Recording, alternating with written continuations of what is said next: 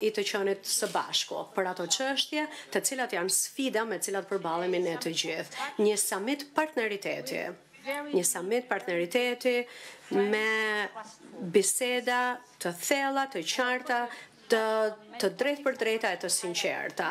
Natyrisht që ne diskutuam shumë tema, do të flas për disa prej tyre. Një temë madhore është që ne dëshirojmë të përballemi pra me sfidat që vijnë jo vetëm nga kjo luftë e tmerrshme që ka nisur Rusia në Ukrainë, por edhe një nga pasojat e saj që ka të bëjë me sektorin e energjisë. Për ne është e rëndësishme që së bashku me miqtë tanë nga Ballkani Perëndimor ne përballemi me këtë sfidë së bashku në mënyrë të tillë ku ne reflektojmë gjithçka që të bëjmë ne në Bashkimin Europian reflektohet edhe këtu në Ballkanin Perëndimor. Për shembull, fakti që familjet dhe bizneset këtu do të kalojnë po aq vështirësi sa ç'do të kalojmë edhe ne, për ne është shumë e rëndësishme që të japim zgjidhje të njëjta. Prandaj kjo paketë prej 1 miliard euro për mbështetje për sektorin e energjisë është e ndarë në dy pjesë, pesëqind milionë euro mbështetje e drejtpërdrejtë buxhetore, e cila jep mundësi në mënyrë që në formë të shënjestruar të jepet ndihmë familjeve në nevojë, si edhe bizneseve në nevojë, ndërsa pjesa e dytë, gjysma e dytë, pra pesëqind milionë të tjera euro, janë mbështetje për infrastrukturën, në mënyrë që të bëhet e pamundura që Të bëhen investimet për energjinë e së ardhmes, sepse energjia e së ardhmes natyrisht është energjia e rinovueshme, është më pak e kushtueshme, është po ashtu më e mirë, më e gjelbër për planetin dhe prodhohet këtu në vendet tona, pra sjell edhe vende pune, jep edhe vende të reja pune, por krijon gjithashtu edhe pavarësinë nga varësia që ka qenë e mëparshme. Pra, për energjinë e rinovueshme, për infrastrukturën, për ndërlidhjen, por edhe për efikasitetin e energjisë. Ne dje gjithashtu miratuam gjashtë projekte të ndryshme, të cilat shkojnë që nga për shembull fermat fotovoltaike, ferma të energjisë me erë, si edhe për shembull rehabilitimi i hidrocentraleve. Sigurisht që theksi këtu vihet edhe tek efikasiteti i energjisë. Prandaj, është e rëndësishme pra përmirësimi me anën e investimeve të tjera, shtesë për spitalet, për universitetet, për shkollat, natyrisht me anën e një sistemi efikas të energjisë, kështu do të përmirësohet edhe situata. Por përveç energjisë si sektor, kjo është një pjesë e saj natyrisht, Por kemi dhe një kuadër më të gjerë të planit e investimeve ekonomike, të cilën ju e keni dëgjuar tashmë, me investime në fushën e transportit, në fushën e furnizimit me ujë, të ujërave të pista gjithashtu. Por këtu kemi përfshirë natyrisht dhe kemi miratuar dje dyzet projekte të rëndësishme me një shifër të madhe në euro, kështu që pra lajmi i mirë këtu është që ky plan ekonomik i investimeve po funksionon dhe po ecën në drejtimin e duhur. Gjëja tjetër ka të bëjë me situatën në të cilën shikojmë pra marrëdhënien ndërmjet Ballkanit Perëndimor dhe Bashkimit Evropian. Më lejoni t'ju siguroj sërish që ne tërësisht dhe me zemër mbështesim procesin e zgjerimit dhe të integrimit të rajonit. Këtë vit ne kemi parë shumë ecuri, përparime, progres, kemi patur në fakt konferencën e parë ndërqeveritare me Shqipërinë dhe Maqedoninë e Veriut, pra shikojmë një lëvizje të re në të gjithë këtë proces. Ka qenë vërtet një hap historik për çeljen e negociatave.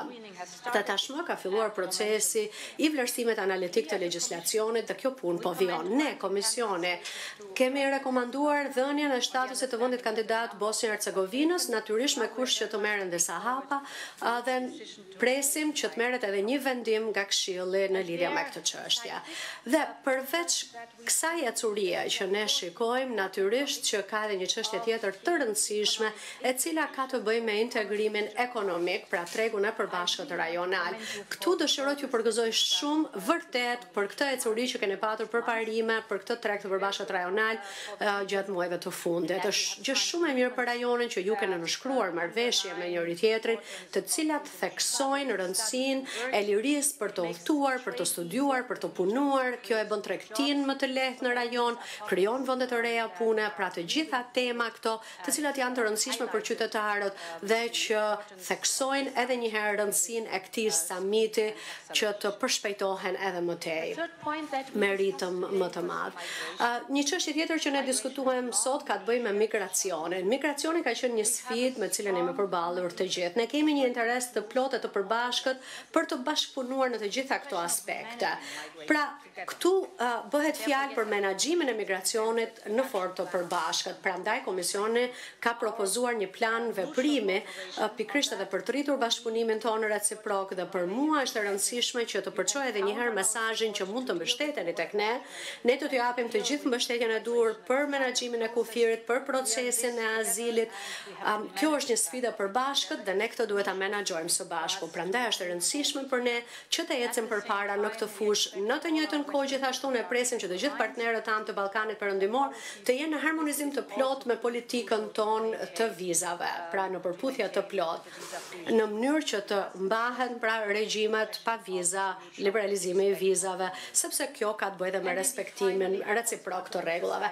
E së fundmi, më lejoni të theksoj edhe këtë çështje që është kaq e rëndësishme, që ka të bëjë me rininë, e di, e di sa e rëndësishme është kjo çështje për ju. projektet të cilat ju përmendët dhe ju keni qenë i pari që më keni thënë për shembull që ju donit që në këtë rajon të kishte më shumë shanse, më shumë mundësi për të rinjtë dhe ju keni qenë ai që na keni kërkuar që të mendonim për shembull mundësi për ta bërë nismën e universiteteve evropiane realitet këtu në rajon. Ja që e arritëm këtë gjë, faleminderit shumë që e nisët ju këtë proces.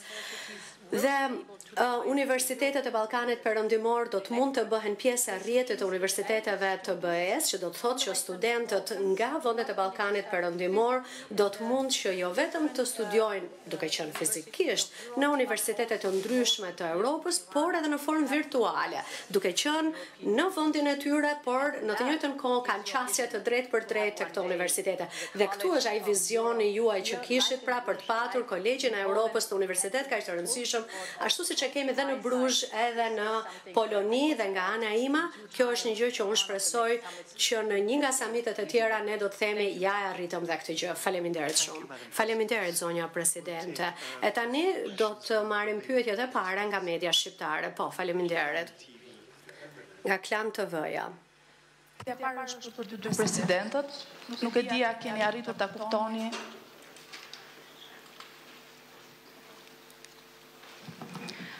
Nuk e di a keni arritur ta kuptoni një tipar që i karakterizon njerëzit në këtë pjesë të Ballkanit Perëndimor, që është që duan t'i dëgjojnë gjërat qartë dhe me zë të lartë. Pse u zgjodh Tirana? Ishte arsyeja pse shqiptarët janë populli më eurodashës dhe se serbët për shembull janë populli që e duan më shumë Rusinë.